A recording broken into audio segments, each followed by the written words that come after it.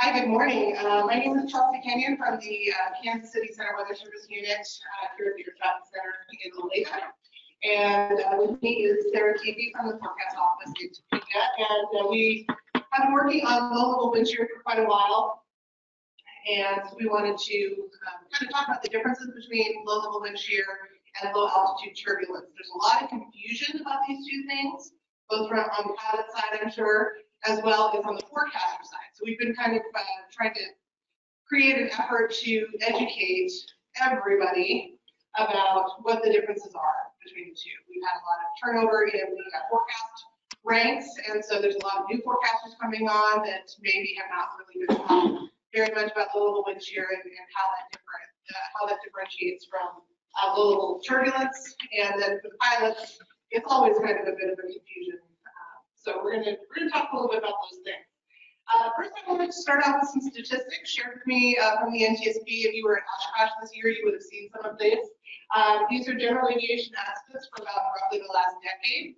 And you can see good news. There's kind of a slow decline on both the accident side and the fatality side. But it's, it's a very slow decline through 2021.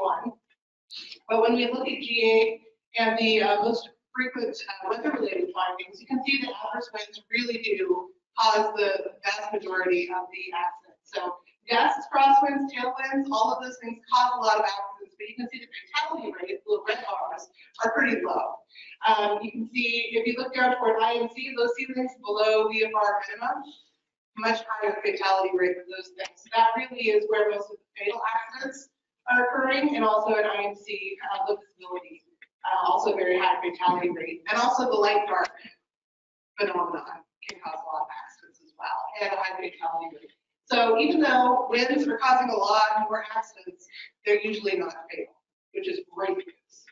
Um, if we break it down a little bit farther, you can see just from 2008 till about 2020, uh, ceiling visibility and precip have over 75% fatality rate. So that is really where most of the bad accidents are happening. And then convective weather is also over 65 or 64%, uh, you know, fatality rate. So wind causes by far the most accidents, but they're not usually fatal. If we look a little bit deeper, um, so on the, the far right side there, the weather-related accidents, or the total accidents, weather-related is about 22%. Um, and you can see adverse winds causing a lot of that, students visibility also causing a lot of that. We're talking about low level wind shear, very, very small, about 2% of all the accidents uh, that are, that are caused from 2008 until 2020. And then if you look at fatalities specifically, um, you can see the wind shear is down 1%. So wind shear is not causing a lot of accidents. It's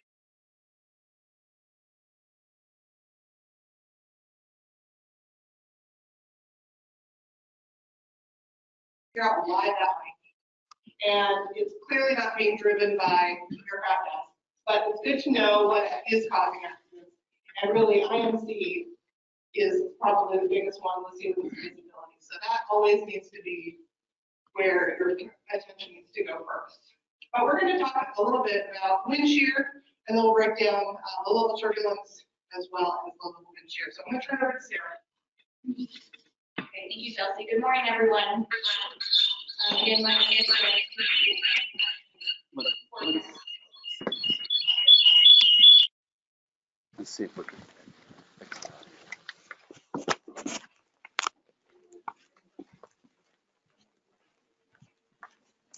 Sorry. It's.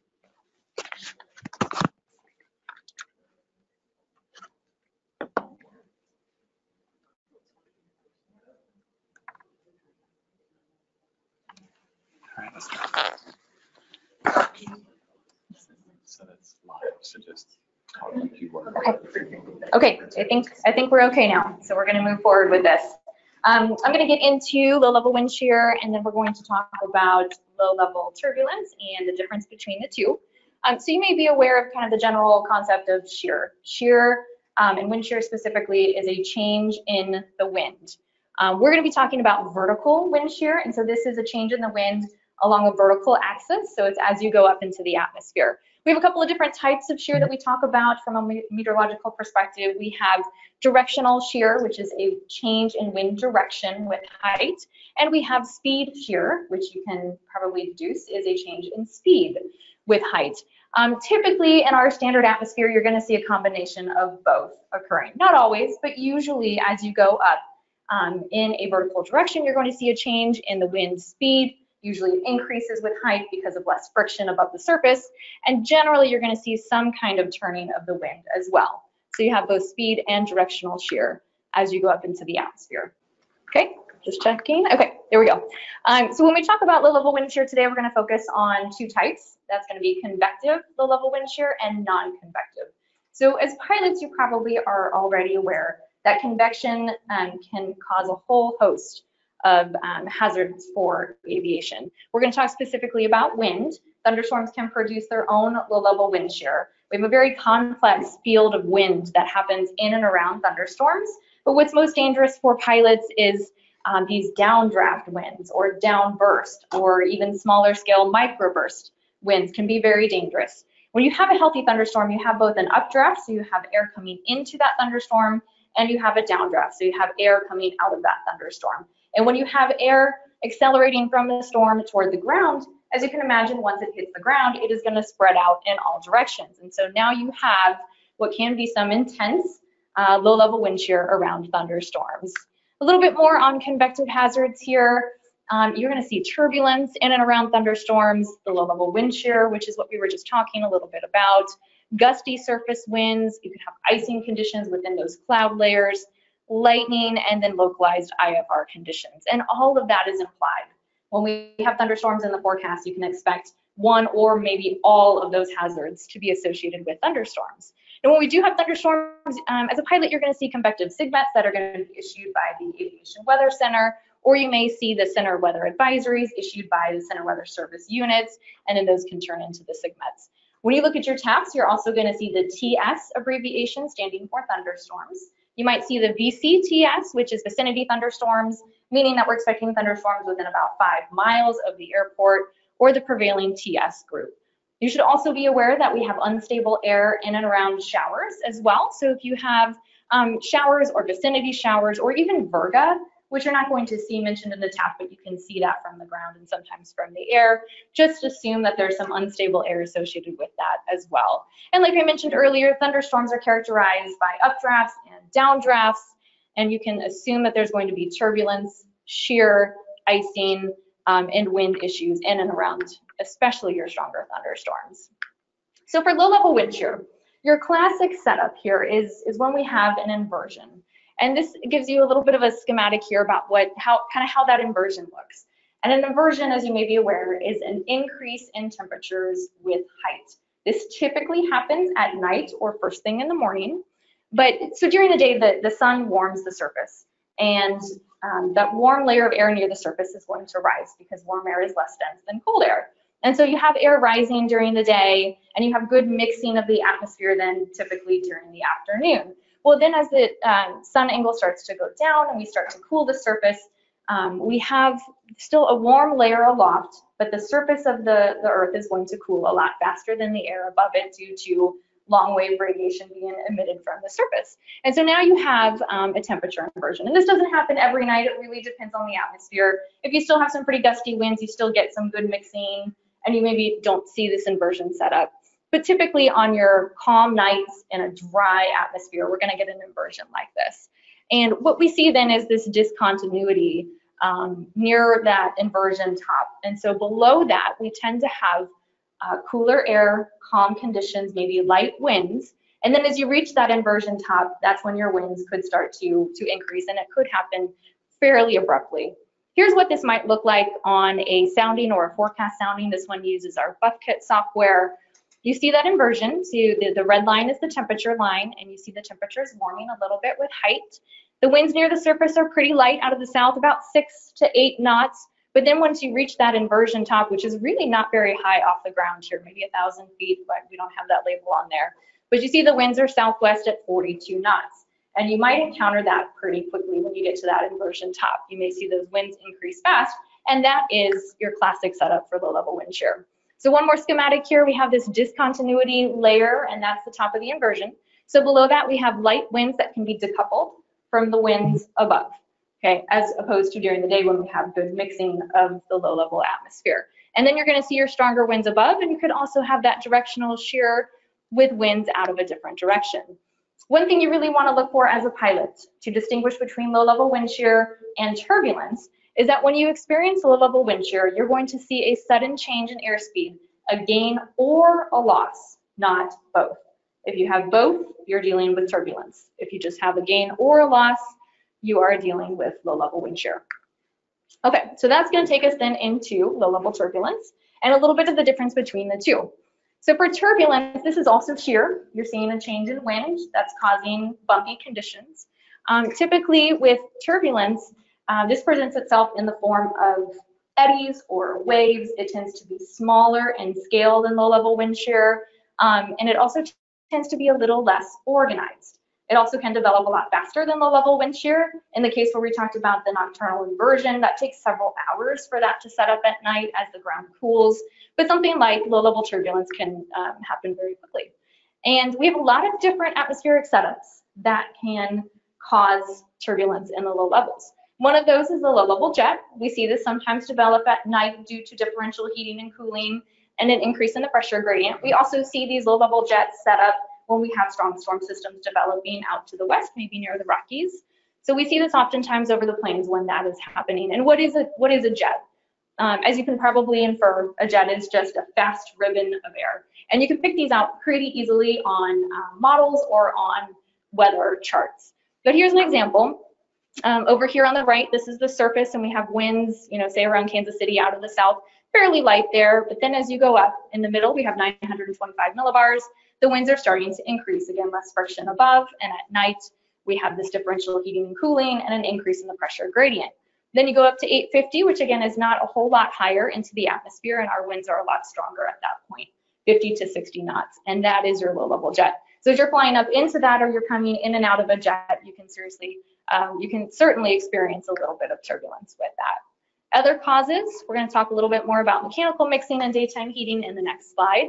But surface boundaries and fronts, where you have different air masses, when you pass into those regions, you're going to have maybe a little bit of turbulence and some bumpy conditions. Also, gravity and mountain waves can cause that around mountains or hilly terrain.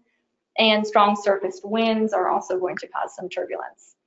So a little bit more on mechanical turbulence here. Um, at the surface, we have a lot of friction, right? We have a lot of trees, we have buildings, and the wind is going to work around those and cause eddies.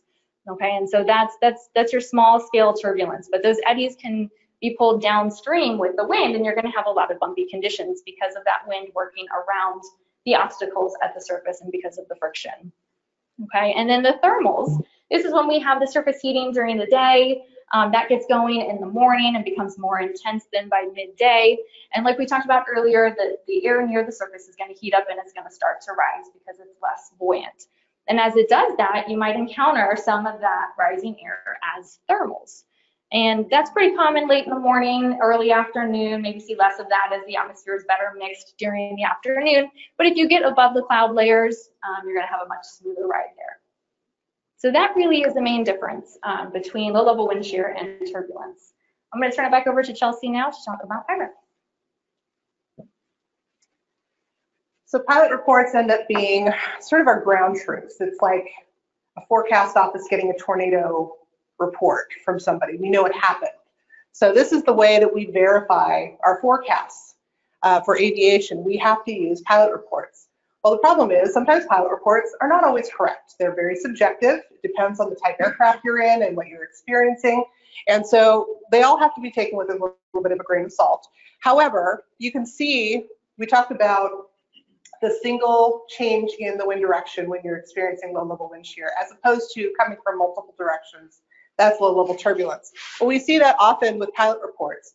And so sometimes if a pilot is experiencing that kind of wind shear below 2,000 feet, they automatically assume it's low level wind shear because it's below 2,000 feet. But if it's coming from multiple directions, that's actually turbulence. So we see this all the time with pilot reports, and I wanted to show a couple of different ones. So the first one there um, is low level wind shear plus or minus 10 knots. It's probably the most common low level wind shear report I see. and that's actually turbulence. Just because it occurs below 2,000 feet doesn't make it low-level wind shear. It's wind shear below 2,000 feet, but it's coming from multiple directions. That's actually turbulence. So if you were going to put that PIREP in, I would put turbulence in the turbulence field and then put plus or minus 10 knots and leave out the low-level wind shear um, abbreviation, and that would be correct. Uh, Same thing with the second one there, low-level wind shear minus 15 knots on short final. That actually is low-level wind shear. That one was put in correctly. The ones around Oklahoma City here, I did flag them. They should be urgent because of the, the magnitude. They're over 10 knots. But 25 knot gain, that's low-level wind shear. Uh, 15 knot plus short final, that's low-level wind shear. So those ones are actually correct. Um, Then this Joplin one here at the bottom, plus or minus 10 knots. So that was actually uh, a bumpy day. It was uh, windy, and I actually pulled the surface observations from that time for that location. And you can see the wind gusts are 25 knots uh, going on right there. So even though they're reporting low-level wind shear surface to 100 feet during descent, um, it's actually turbulence that they're experiencing. So sometimes the pilot reports can lead us astray. So here's a day just not too long ago, actually, where we had a very windy day. We had a ton of low-level wind shear reports, and there, there were a lot of low-level turbulence reports as well. And I just kind of picked out a few of the ones in the blue are actually the low-level wind shear ones that are incorrect. And then we've got a couple here, uh, wind shear, this Chicago O'Hare 737 reports about two thirds of the way down with the red at the end, plus or minus 20 knots. That's actually the correct way to de- depict it. Um, low level wind shear plus 20 knots down here off of uh, Lafayette, um, Illinois. So you can see we've got, or I'm sorry, Indiana. So we've got a lot of reports. These are all low altitude turbulence reports and the wind shear reports mixed in. Yes. So if you're flying in turbulence, you know, you may not have time to be really refined. I mean, would, does Kansas City Center or whomever, does ATC, I know you work closely with them, do they help correct this? I'm just saying, we might say it wrong because we're bumping around. Sure, yeah. So the question is if you give your PIREP for turbulence to ATC, will they make sure that they put it in correctly? I can tell you, probably not. Um, Because the, pi- you know, the controllers are also very busy and they're, you know, especially in the low altitude, they've got a lot of things to keep track of. So they're pretty much going to put in whatever you, whatever you say.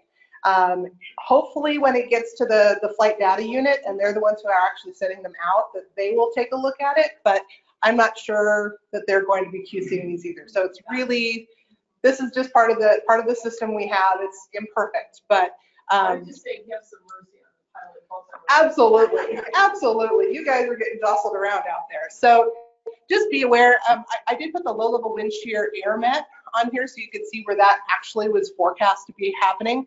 And the new AWC uh, website, I don't know if you guys have played around with it yet, but uh, the new format for the low level wind shear reports is kind of the little double squiggly lines. And you can see how many of them we were getting well outside of that as opposed to closer to the AIRMET, which is where we were actually expecting low level wind shear. So um, we get a mixed bag. The saying that pilot reports are not always definitive to help us verify the forecast. Sometimes you have to really break them down and look to see. So as pilots, when you're experiencing turbulence, if it's coming from multiple directions, it's turbulence. That's the biggest difference between the two. If it's a single gain or a single loss below 2,000 feet, then it's low level wind shear. So we just wanted to bring awareness to that. So if you have any further questions, we'll have a Q and A session here in a little bit. But if you do have further questions about this, and I'm, I'm sure uh, there are lots of questions, uh, Sarah and I are happy to answer your questions or